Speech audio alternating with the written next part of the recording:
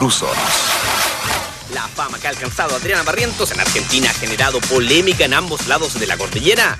Junto a esto, la larga lista de enemigas de la Leona ha incrementado considerablemente y pese a que conflictos no le sobran a Adriana, este fin de semana reflotó una antigua y muy potente enemistad. Todo porque María Eugenia Larraín tuvo la gentileza de opinar sobre el desempeño de Barrientos en tierras trasandinas, sacando la verdadera leona que Adriana lleva dentro. Intrusos.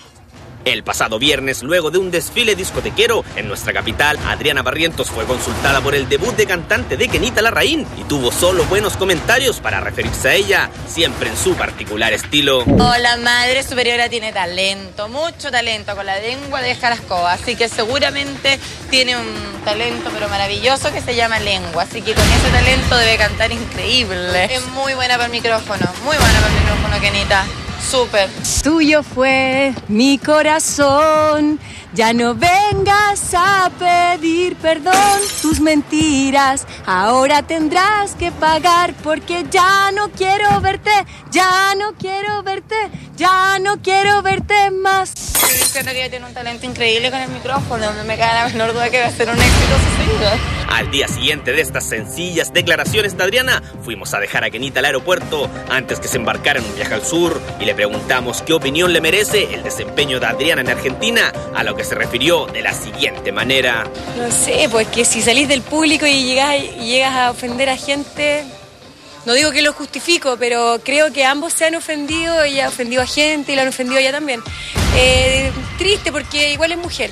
Estas declaraciones llegaron a oídos de Adriana, quien se tomó los dichos de Kenita como un apoyo a Moria Kazán, su más potente archirrival argentina. Todo esto provocó la furia de la leona, quien perdió toda la delicadeza para referirse a la ex de Luis Miguel. Kenita está con Moria Kazán.